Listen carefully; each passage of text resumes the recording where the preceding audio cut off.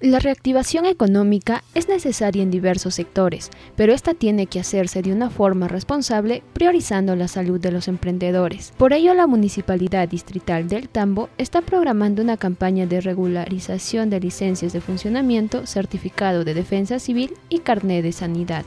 La campaña se realizará los días 5 y 6 de agosto a las 8 de la mañana hasta la 1 de la tarde y se llevará a cabo en el Parque de los Sombreros.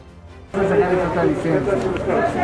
qué, ¿Para qué negocio me dices? Para una tienda. Una tienda, una bodega. Una bodega. La municipalidad por esta ocasión tiene una licencia totalmente gratuita para lo que es bodega. Pero lo que sí lo...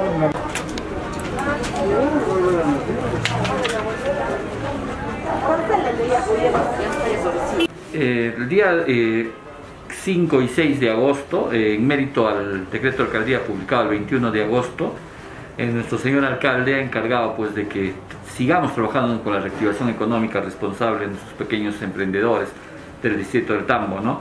¿Qué quiere decir este que eh, mediante este decreto de alcaldía se rebaja las tasas de licencias de funcionamiento, carnets sanitarios y certificados de defensa civil a todos aquellos negocios que sean de riesgo medio, que incluyen este tipo de negocios de riesgo medio, bodegas, restaurantes, eh, peluquerías, librerías, ferreterías, entre otro tipo de negocio que se haya iniciado pues como producto de la pandemia o aquellos negocios que aún no cuenten pues o no sean formales, ¿no? Sí, ¿no? El área de consumo donde son tus clientes, ¿no? Este área.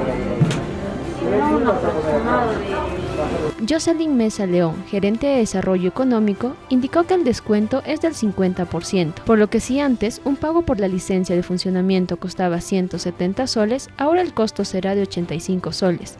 De igual forma, en el certificado de defensa civil, el costo normal es de 150 soles y los días 5 y 6 será de 75 soles. En cuanto al carnet de sanidad, el costo es de 14.50, pero por la campaña se rebaja a 7 soles 50. Yo hago una invitación a todos nuestros vecinos de nuestro distrito que acudan, pues respetando su distancia, es un local tota-, es un espacio totalmente aireado, ventilado, se respeta la distancia, se usan todos los protocolos del caso y pueden hacer pues estos pagos respectivos que solo van a durar hasta el 22 de agosto, pero en este espacio van a, van a, va ser el 5 y 6 de agosto.